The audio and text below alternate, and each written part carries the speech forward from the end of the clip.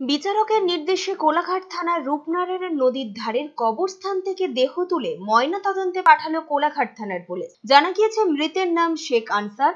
গত বারোই জুলাই দেনান গ্রামে রূপনারায়ণ নদীর ধার থেকে পাওয়া যায় যুবকের মৃতদেহ।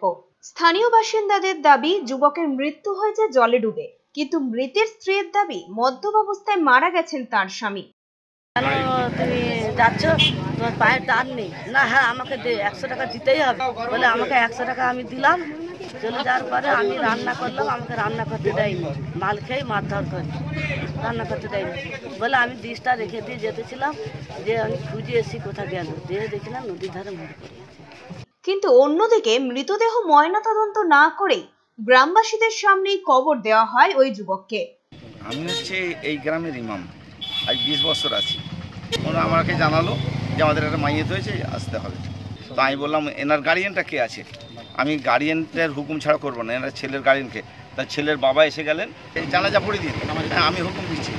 এবং আমি বললাম তাহলে আপনার ছেলে যে এতদিন বসবাস করেছে আপনি ভুল স্বীকার করে এ করে ক্ষমাছেন উনি হাত জোড়ো করে সব ছেলেদের সবগুলো বলল যে গ্রামবাসী আপনারা আমার ছেলে যদি আপনাকে যে কোনো ভুল করে ঋণ করে থাকে ধার করে থাকে আমাকে বলবেন আমি ঋণ পরিশোধ করে দেবো।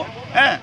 মৃতের বাবার অভিযোগ ছেলেকে মেরে ফেলা হয়েছে। এই অভিযোগে তমলুক কোর্টে অভিযোগ দায়ের করেন তিনি।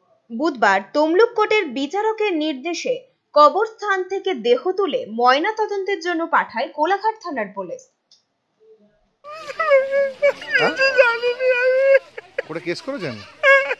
আপনি কোর্টে কি কেস করেছেন? আমার ছেলেকে খুঁজে পাইনি এরা বলে- বলে নদীতে ডুবে মরে গেছে খবর দিল এরা।